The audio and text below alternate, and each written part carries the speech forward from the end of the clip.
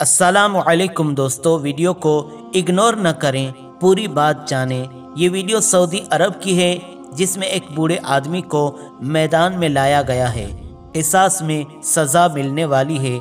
आँखों पर पुलिस वाला रुमाल बाँध रहा है, क्योंकि इसका जुर्म साबित हो चुका है। दोस्तों, कातिल की आँख पर पट्टी इसलिए है कि इसने किसी इंसान को कत्ल किया था। इसीलिए किसास के तौर पर इसकी जान ली जानी है। कातिल का सर कलम करने के लिए काजी मकतूल के बेटों के पास जाता है और उन्हें माफ़ करने की हिदायत देता है कि इस्लाम में मुआफ़ी और दरगुजर करने की बड़ी अहमियत है। लेकिन मकतूल के बेटे अपने बाप के कातिल को माफ़ करने के लिए तैयार नहीं होते। वो कहते हैं कि जब तक कातिल को सज़ा नहीं मिल जाती, हमें चैन नहीं आएगा। जल्लाद कातिल को सज़ा देने के लिए तलवार खींच लेता है।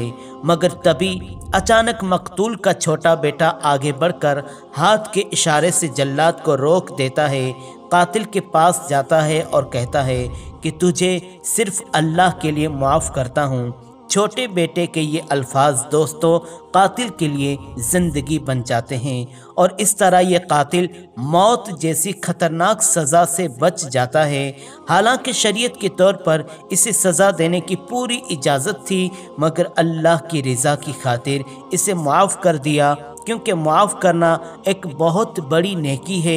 मुस्लिम शरीफ की हदीस नंबर छः हज़ार पाँच सौ बानवे, हजूर सल्लल्लाहु अलैहि वसल्लम ने इरशाद फरमाया, अल्लाह पाक मुआफ़ कर देने से बंदे की इज़्ज़त ही में इजाफ़ा फरमाता है। दोस्तों, इस वीडियो के मुतालिक आपकी राय ज़रूर कमेंट में बताएँ। अगर आपको वीडियो अच्छा लगा हो तो ज़रूर लाइक करें, शेयर करें और चैनल को सब्सक्राइब करें। एक बार फिर न्यू नॉलेज के साथ हाजिर होंगे। तब तक के लिए अल्लाह हाफिज़।